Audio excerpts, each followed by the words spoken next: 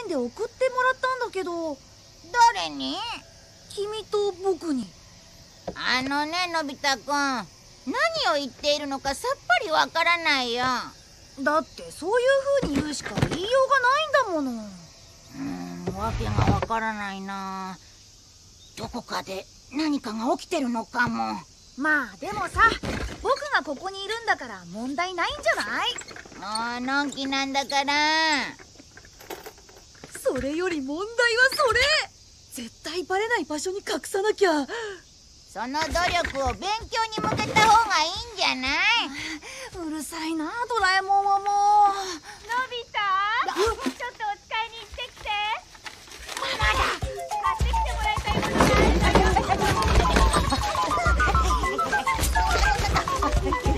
さっきはちょっと言い過ぎ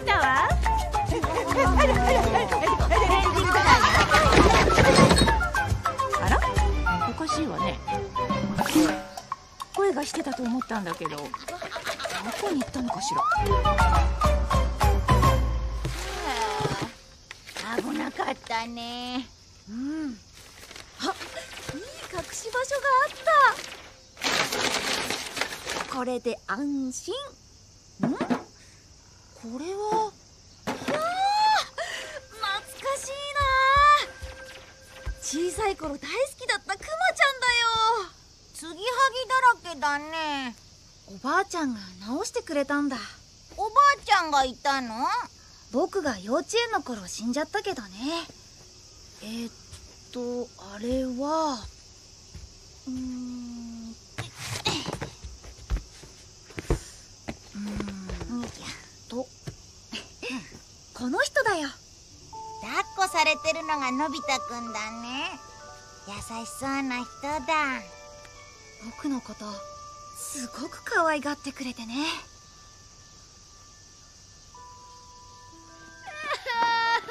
あらあらあらあら。どうしたんだ？いジャイアンがジあらあら。これはかわいそうだね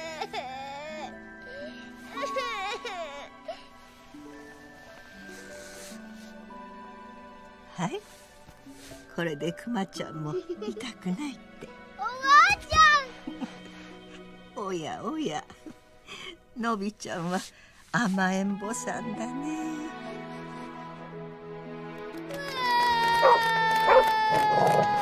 こら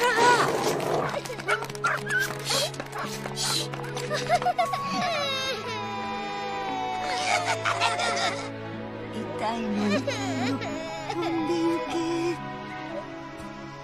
というようなことがいろいろあってさ。その頃から泣き虫で甘えん坊だったんだね。僕はおばあちゃんが優しかったという話をしてるんだ。もっと素直に聞けよ。悪かったよ。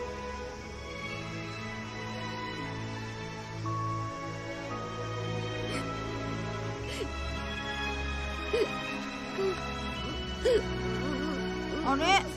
どうしたの？のび太くん会いたい。んもう一度おばあちゃんに会いたいよ。そんなこと言ったって。そうだ。タイムマシンで昔へ行けばいいんだ。そりゃやめた方がいい。どうして？